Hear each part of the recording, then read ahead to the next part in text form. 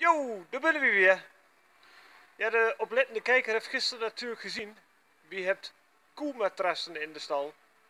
Hartstikke lekker voor de koeien om te gaan liggen. Althans, dat wordt beweerd.